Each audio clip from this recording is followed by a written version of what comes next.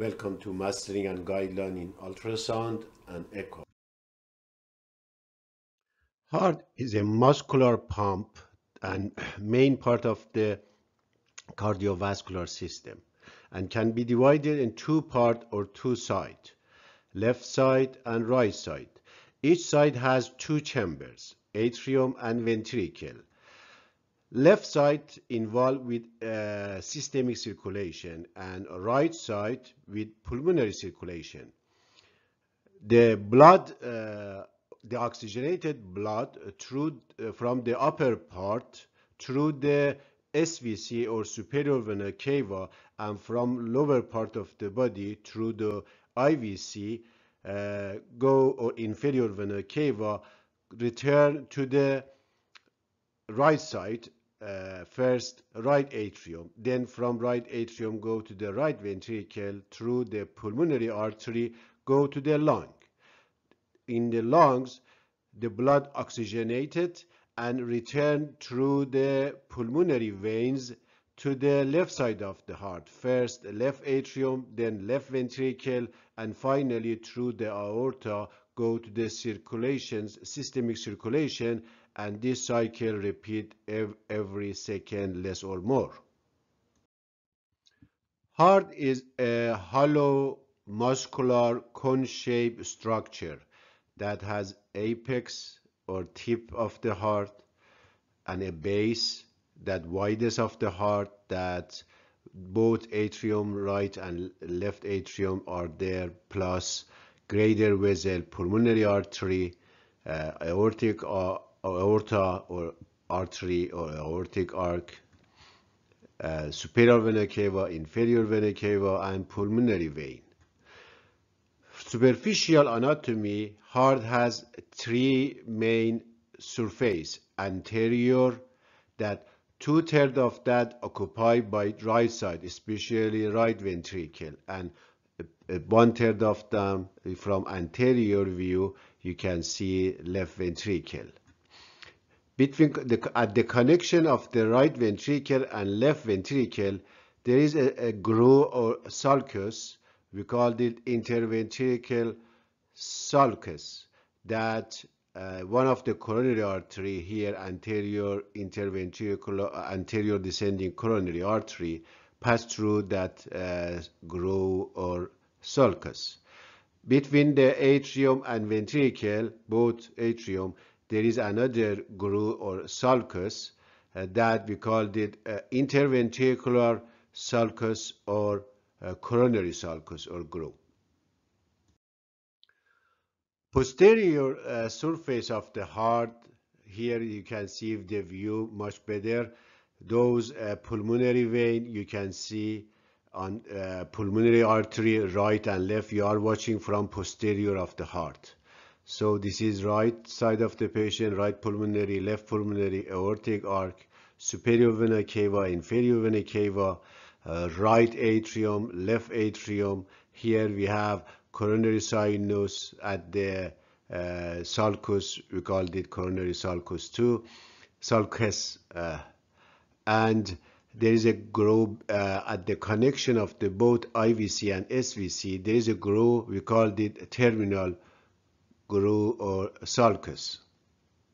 Here, don't forget, uh, at the anterior to the aorta, thoracic descending aorta, in another word, close to the, the most structure that close to the left atrium, here left atrium, is esophagus.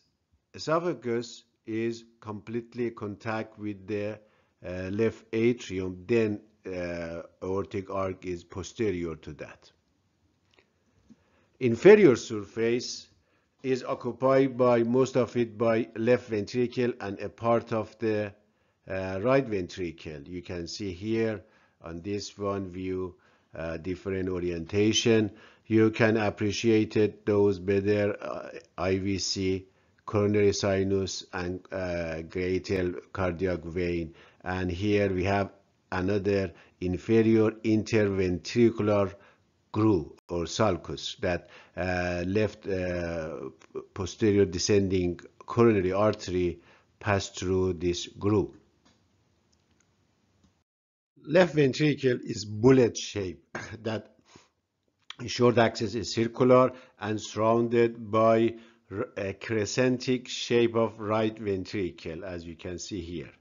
If we look at to the inside of the left ventricle, we can appreciate two type of the muscle pattern. One part is compact, another are uh, those uh, bundle uh, shape muscle that we call trabeculation. Trabecula for those each of those bundle we called it trabecula. Here we can see better uh, trabecula here. Those are the bundle muscle that uh, arrange in different direction uh, and they are connected with each other with the, some uh, tendon and it keep it strong uh, the structure of the left ventricle and even below under those uh, bundle muscle or trabecula carneae there are some free space that blood can go under those uh, bundle muscle this pattern we call trabeculation on the right side here trabeculation is more prominent than left side but both side we have it. Here we have another uh, shape of the trabeculation you can see those bundle uh, the thickness are different. All those stuff the size and here you can see those other another muscle that we can see pattern muscle we can see inside of the left ventricle all the finger shape finger shape like uh, muscle that we called it papillary muscle in left ventricle we have two papillary muscle that later we go talk about that. Here, the reason I uh, brought the, this uh, compact and non-compact uh, myocardium is that for measurement of myocardial wall thickness, we measure the compact part, not trabeculation. We don't include trabeculation. And so, for example, if we want to measure on the, our image this wall, we just uh, border will be here not there so we measure from here to here or the same here. We measure from here to here not there. So you can see here those uh, papillary muscle one of them and the second one uh, later we talk about papillary muscle and the especially mitral valve. Now let's see how it looks like trabeculation on the uh, echo. As you can see here, we have some irregular bundle here, uh, here too, the same all the way. And we have a false uh, moderator band in this left ventricle. Later we talk about that. Here on short axis, you can see those uh, trabeculation very clear bundle that between them is black or anecho, we call anecho you can see those are irregular. So the compact part will be here to here or here again here to here not those uh, trabeculation now let's see uh, how uh, left ventricle looks like in apical view.